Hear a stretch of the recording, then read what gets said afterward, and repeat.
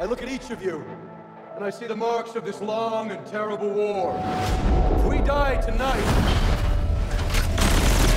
mankind dies with us. The machine sent a Terminator back to the time before the war to kill my mother, Sarah Connor.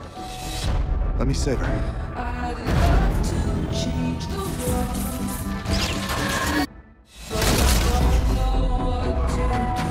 Time you're going back to should be scared and weak. Take care of her for me, Kyle. Come with me if you want to live.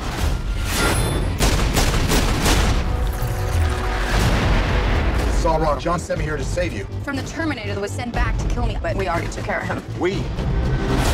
I've been waiting for you. Everything's changed. We can stop Judgment Day from happening.